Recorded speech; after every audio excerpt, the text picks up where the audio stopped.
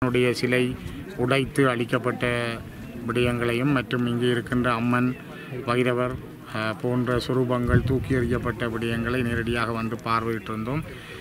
நாங்கள் வருவதற்கு முதலே இங்கே இலங்கை அரசினுடைய உளவுத்துறையைச் சேர்ந்த கிட்டத்தட்ட எட்டு ஒன்பதுக்கு மேற்பட்டவர்கள் இங்கு சூழ்ந்திருக்கிறது எங்களால் பார்க்க முடிகிறது.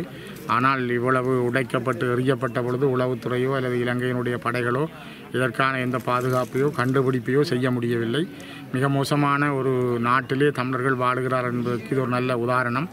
குறிப்பாக பாரம்பரியமாக வரலாற்று ரீதியாக இந்த மாபெரும் மலையிலே இருந்த சிவனை தூக்கி எறிந்துவிட்டு இதனை ஒரு பௌத்த விகாரியாக மாற்றுவதற்கு சிங்கள பௌத்த பீர்ணவாத அரசு தன்னுடைய செயல்பாட்டை முன்னெடுத்திருக்கிறது. நாங்கள் இந்த விடயத்தை வன்மையாக கண்டிக்கின்றோம். அதைவிட இது ஒரு மிக கேவலமான ஒரு இனவாத செயல். தமிழர்கள் வாழுகின்ற அவருடைய பாரம்பரியமான பிரதேசத்திலே சிங்கள பௌத்தத்தை திணித்து சிங்கள மேலாண்மையை இன்னும் வேரூன்றச் செய்வதற்காக ரெண்டாயிரத்தி ஒன்பதிலே யுத்தம் மௌனிக்கப்பட்ட பிற்பாடு தமிழர்கள் மீது இலங்கை அரசு திட்டமிட்டு செய்து வருகின்றது. சர்வதேச நாடுகள் கண்டும் காணாதது போல் மௌனம் காப்பது தான் இன்னும் எங்களுக்கு இருக்கின்ற துர்ப்பாக்கியம். குறிப்பாக அமெரிக்கா ஐரோப்பிய நாடுகள் இந்தியா இந்தியாவுக்கு இதில் ஒரு பெரிய பங்கு இருக்கிறது. ஒரு சிவாலயம் அதிலும் குறிப்பாக தமிழர் தரப்பாக இலங்கை இந்திய ஒப்பந்தத்தினூடாக தமிழர் தரப்பாக ஒப்பமிட்ட இந்தியா மௌனமாக இருப்பது இன்னும் எங்களை தமிழ் மக்களை வேதனைக்கு உள்ளாக்குகிறது.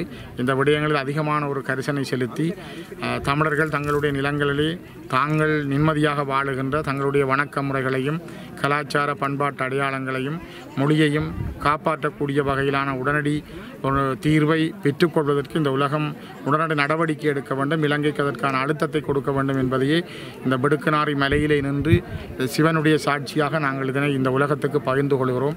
ஆகவே நான் நினைக்கிறேன் இலங்கை இன்னும் தன்னுடைய சிவன் ஆலயங்களை அல்லது இந்த ஆலயங்களை இடிப்பதன் மூலம் தொடர்ந்தும் கோட்டபாய அரசு செய்த அதே கர்ம வினைகளை ரணில் அரசாங்கமும் செய்து அதள பாதாளத்துக்கு போகின்ற ஒரு நிலைமைக்கு அவர்கள் தங்களை தயாராக்குகிறார்கள்.